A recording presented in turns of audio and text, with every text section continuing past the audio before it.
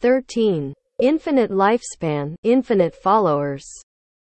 The Buddha told Ananda, the lifespan of Amitayus is so long it cannot be measured. Surrounded by an assembly of countless Sravakas, he has penetrating supernatural wisdom and mastery of awe-inspiring powers. He can hold every world in his hand. Among my followers, none can match the supernatural powers of Maudgalyayana.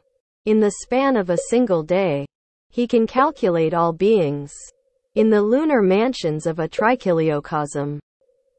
If all beings in the ten directions became Pratyeka Buddhas, and were they to live for a trillion years, and possess Maudgalyayana's powers, and spend their whole lives, exhausting all intellectual strength, in calculating the number of those in Amitabha's assembly, at the range of 100 billion, still they would not come close to even a single percent of the total. Imagine an ocean boundlessly deep and wide. Suppose one were to take a single hair and split it into hundreds of pieces, fragmented as small as atoms.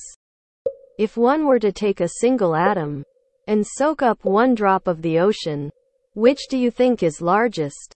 The drop of water on this fragment or the ocean? Ananda, the likes of Maudgalyayana, who know the total number, are like a drop of water on a fragment of hair. Those who know it not are like the ocean's water.